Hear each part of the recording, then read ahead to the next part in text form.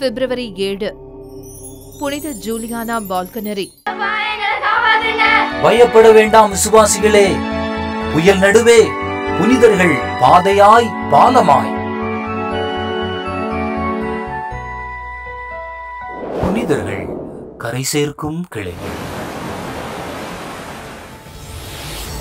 இன்றைய புனிதர் அறிவோம்.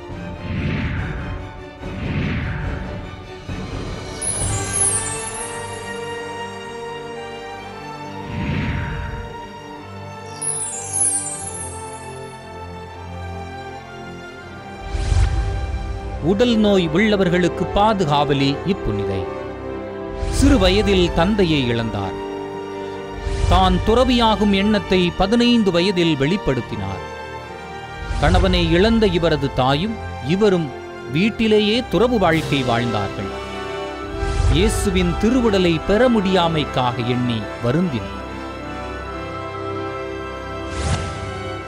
இன்றைய புனிதரிடம் இருந்து கற்போம். ஒன்று பிறப்பும் துறவும். பிரான்சிஸ் நகரின் மதிப்புமிக்க குடும்பத்தில் பெற்றோரின் முதுமை காலத்தில் பிறந்த மகள். இளமையில் திருமணத்தை வெறுத்தார். துறவு வாழ்வு வாழ விரும்பினார். ஆனால் இவரது தாய் சம்மதிக்கவில்லை.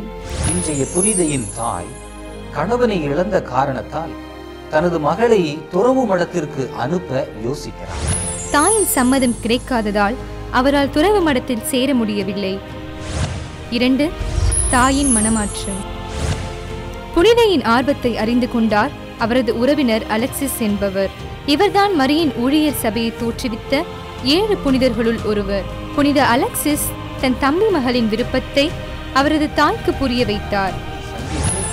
மகள் துறவு வாழ்வுக்காக அழைக்கப்பட்டவர் என்பதை உறுதிப்படுத்திய போது தனது மகளை துறவு வாழ்வுக்கு அனுப்ப தாய் முன் அவரது சந்திப்புக்கு பின்னால் புனிதையின் தாயின் மனதில் மாற்றம் ஏற்பட்டது. மூன்று இல்லத்தில் துறவு.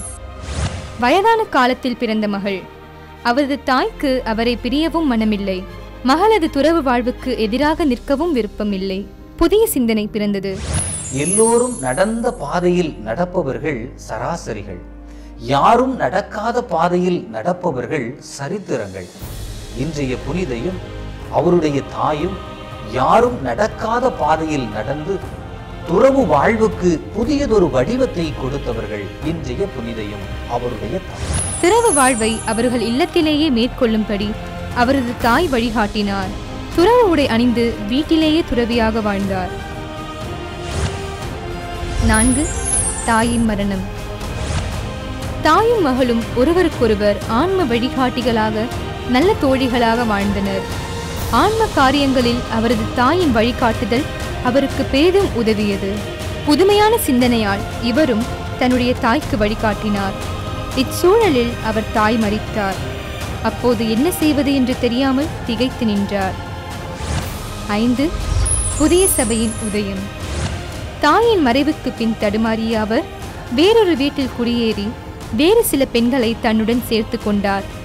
இவரது அன்பான பணியால் பல பெண்கள் இவரை பின்பற்றினார்கள்.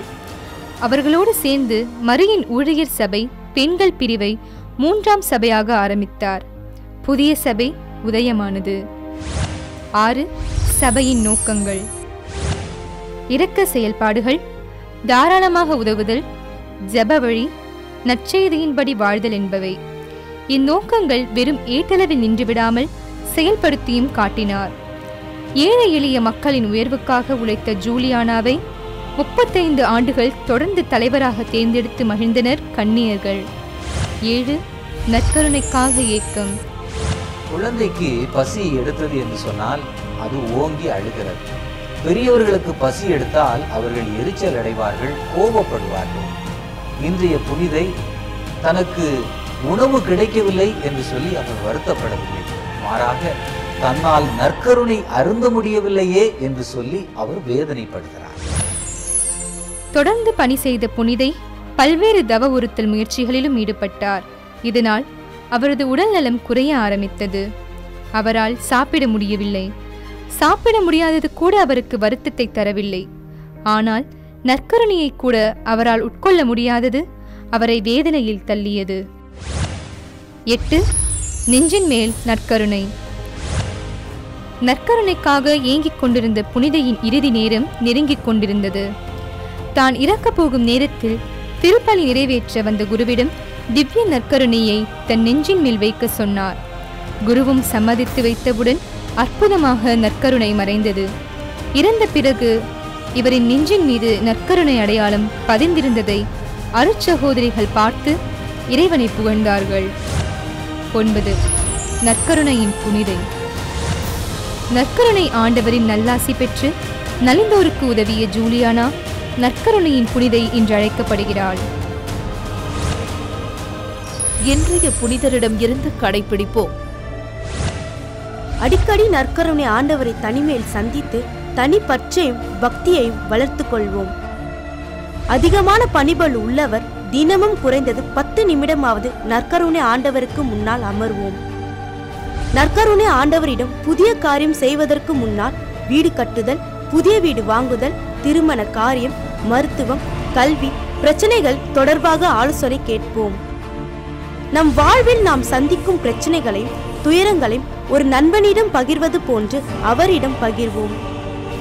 நற்கருணை ஆண்டவரின் பிரசனத்திற்குள் நுழையும் போது அடிமை அரசனை சந்திக்கும் போது தாழ்ந்து பணிந்து செல்வது போன்று பணிவோடு செல்வோம்.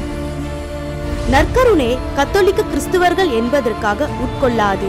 நல்ல தயாரிப்போடு மட்டும் உட்கொள்வோம். நற்கருணை பெறும் முன் உள்மன தயாரிப்பில் ஈடுபடுவோம். நற்கருணை வாங்கிய பின் ஒரு நண்பனோடு உரையாடுவது போன்று அவரிடம் உரையாடுவோம்.